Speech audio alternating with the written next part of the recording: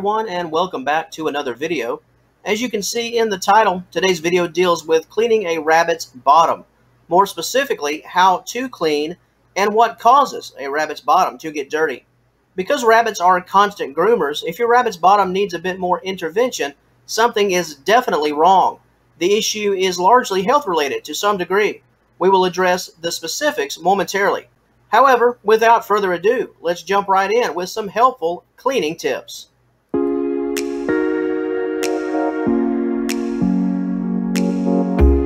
If your rabbit's bottom is dirty, you have a couple of cleaning options dry cleaning technique or wet cleaning.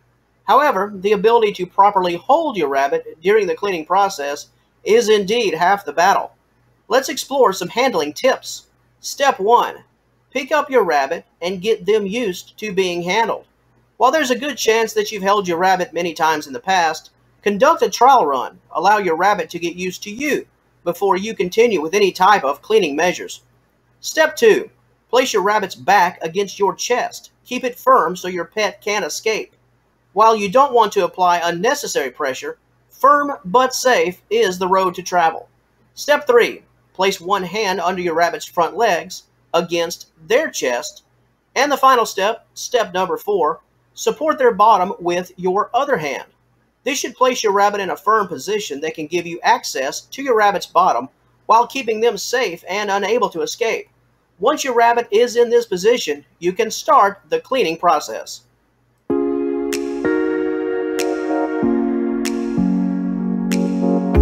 The dry cleaning technique can be used if your rabbit's bottom is a little dirty nothing major.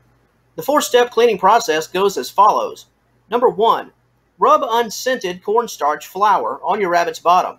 Avoid starch that contains talc. Number two, allow the cornstarch to sink into the fur rather than just the top layer only. The deeper the starch, the more it will help to loosen any dry feces. Number three, use a wide tooth comb, non metal teeth, and brush through the problematic fur. And finally, number four, gently pat your rabbit's bottom with a soft towel after combing. If needed, you can repeat this process. However, when only marginal cleaning is needed, the aforementioned guidelines should get the job done.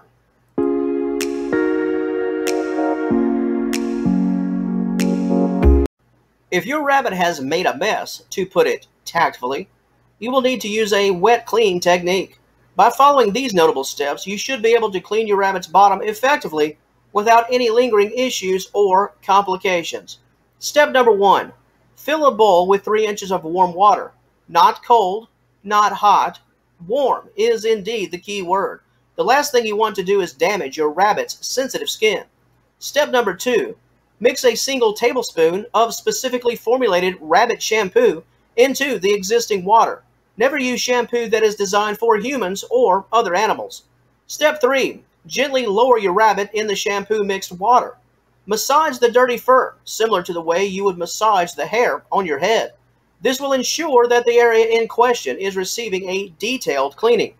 Step 4. Because the water will likely get dirty in no time, start again and repeat the process. Repeat as many times as needed until you can clean your rabbit's bottom without the solution changing colors.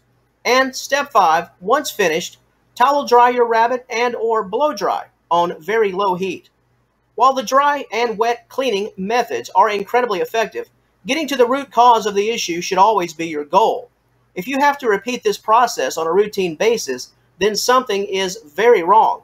Once you're able to solve the underlying issue, you will likely be able to eliminate this unpleasant scenario.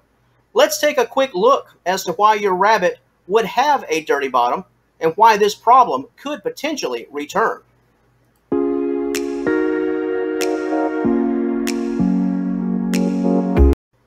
Rabbits are quite similar to cats when it comes to cleanliness. A healthy and happy cat will never neglect its appearance. The same is true for rabbits. If your bunny has a dirty bottom after dirty bottom, then something else is at work. The core trio of causes primarily center around poor and improper diet, limited mobility, and obesity. The first concern has to do with intake. If you're feeding your rabbit all the wrong foods, then bowel complaints will become all the more common.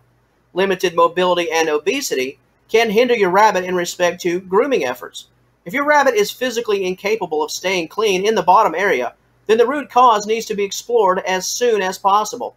Elderly and arthritic rabbits can suffer in this fashion.